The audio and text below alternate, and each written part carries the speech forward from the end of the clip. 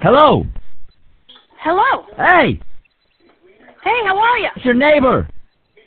Yeah, your neighbor. Which neighbor? I want my newspaper back. What newspaper?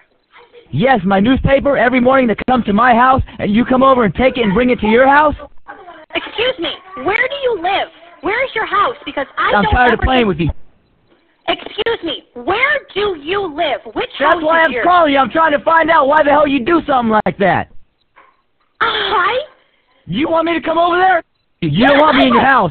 You I can be over there in over two here, seconds. And you look me in the eye because I don't take anybody's newspaper. Okay, you ready? I don't want you. Okay, yeah, let's go. Come on All right, here I go. I'm coming over right now. Okay, You let's go. Let's get it on. Let's go. Now. over.